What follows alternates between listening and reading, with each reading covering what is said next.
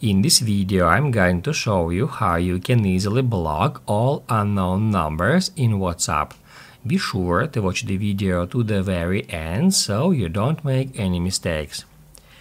Let's get started guys and first off open up WhatsApp app and then head over to settings. On settings, first off, tap add privacy and that's where I recommend you to configure these five options here at the top to increase your privacy level. These options controls which information is available for your contacts, for your friends and for all the other users on WhatsApp and uh, let's say if we want to limit who can get access to our last seen and online information, we can get it.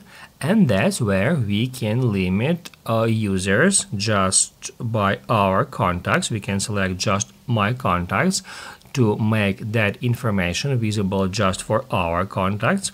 And also we can select my contacts except some particular users and also we can set it to nobody. Then who can see when I'm online? I recommend you to keep it same as last seen. In the same way, if we get into profile photo, we can also limit it. The same about about section, we can set it to nobody as well.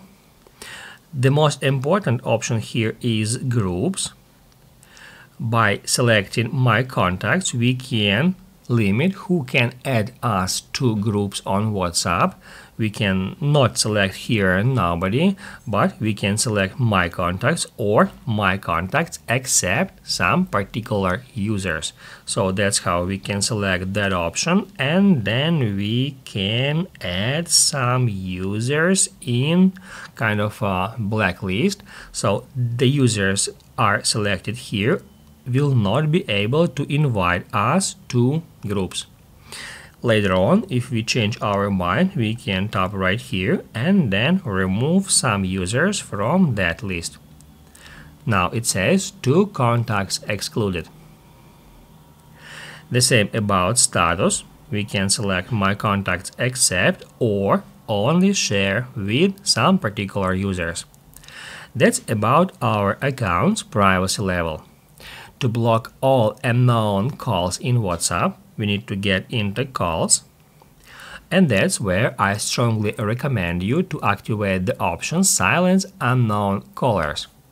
If the option is active, it will silence all the calls from unknown numbers. However, they will still be shown in the calls tab and in your notifications.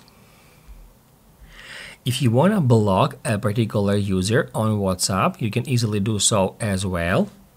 To do that, just head over to chats, then search for a user whom you would like to block. After that, long press add that user and then select block and there we can choose block or block and report. I'm gonna choose block. What that will do that will mark this contact as blocked. Also in a conversation it says that you blocked this contact and uh, from here we can tap right there to unblock that user. And also we can block a user if we get into a conversation with that user first. Then just tap right here at a contact's name or at a phone number Scroll down and that's where we can also find block option and then we can block or block and report that user. If later on you change your mind and you want to unblock some of uh, the blocked contacts, I'm going to show you how we can easily find all of them in one place. To do that, just head over to settings, then chats, and here oh sorry guys not chats but privacy. At privacy here we got blocked option. If we get into it it will show us all the users we have blocked including recent ones. From here, we can unblock any user if we swipe to the left and then hit add unblock. And that's how you can easily unblock several users just uh, by keep doing the same steps. Also, we can hit add edit and then we can unblock a user if we hit add minus and then unblock. Once you are done with that, hit add done. Basically guys, that's it. So if this video was helpful for you, don't forget to hit the like button.